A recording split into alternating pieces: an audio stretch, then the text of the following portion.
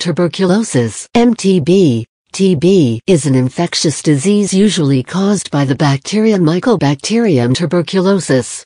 Tuberculosis generally affects the lungs, but can also affect other parts of the body. Most infections do not have symptoms, known as latent tuberculosis. About 10% of latent infections eventually progresses to active disease which, if left untreated, kills about half of those infected.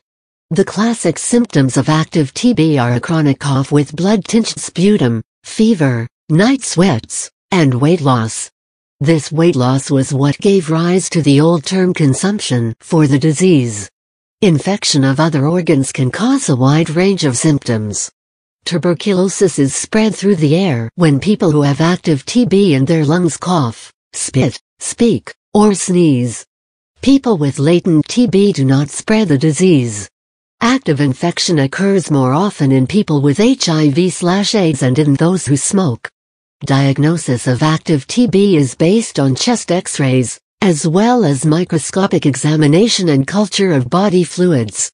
Diagnosis of latent TB relies on the tuberculin skin test TST, or blood tests.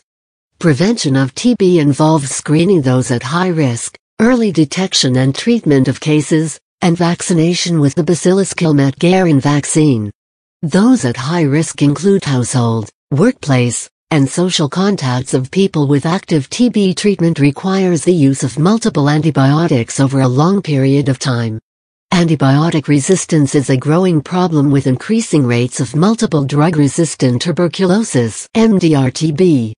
Tuberculosis may infect any part of the body, but most commonly occurs in the lungs, known as pulmonary tuberculosis. Extrapulmonary TB occurs when tuberculosis develops outside of the lungs, although extrapulmonary may coexist with pulmonary TB. General signs and symptoms include fever, chills, night sweats, loss of appetite, weight loss, and fatigue.